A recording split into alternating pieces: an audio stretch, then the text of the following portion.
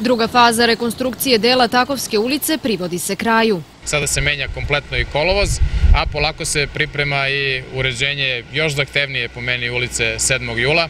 Za nekoliko dana će biti javna nabavka. Vidjet ćemo, dobro ćemo vagati da li da uđemo u posao u ulici 7. jul do kraja ove godine ili ćemo to ostaviti za narednu godinu, ali uglavnom ugovorit ćemo radove.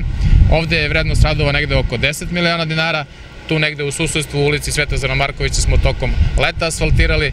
Ovo što je možda bitno za ljude koji ovde stanuju, ovo ima dosta zgrada, da smo ušli u projektnu dokumentaciju, odnosno da projektujemo uređenje dvorišta zgrada. Govorimo o zgradama 7. jul i pozadina njihovog dvorišta koja izlazi tamo na Nišavski odred. Gradonačelnik Vasić rekao je da je planiran nastavak radova na uređenju trotoara u Takovskoj ulici i dvorišta kod nekadašnjih prvomajskih zgrada i zgrada preko puta ekonomske i tehničke škole. Vršilac dužnosti direktora javnog preduzeća za planiranje i uređivanje građevinskog zemljišta Slaviša Svilarov kaže da se aktualni radovi odvijaju planiranom dinamikom. Što se tiče samog trotoara, negde oko 700 kvadrata će, odnosno jeste pod Bekatonom, urađeno je 12 parking mesta, predviđeno je desetak novih sadnih jami za, za drveće, dakle više nego što je bilo do sada, veći broj parking mesta nego što je bilo do sada.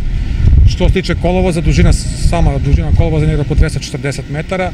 Trenutno se radi nulti sloj asfalta, sutra bi trebalo da usledi i završni sloj asfalta. Zaposleni u javnom preduzeću za planiranje i uređivanje građevinskog zemljišta pripremili su projektnu dokumentaciju za naredni ciklus investicija.